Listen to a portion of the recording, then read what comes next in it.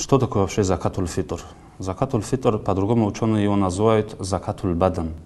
То есть тот закат, который отдается с каждого человека. То есть здесь без разницы.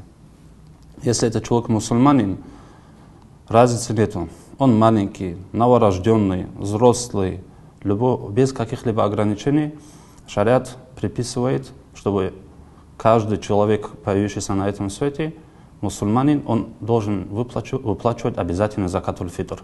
Закатуль фитр является особенностью нашей умы, умы пророка, алейхиссалату вассалам, который был вменен обязанность в том же году, когда был вменен обязанность пост месяца Рамадан.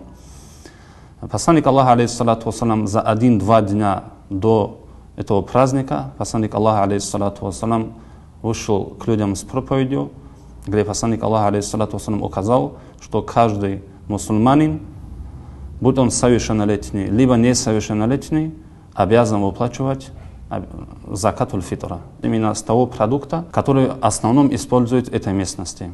Вот что такое закатуль фитра.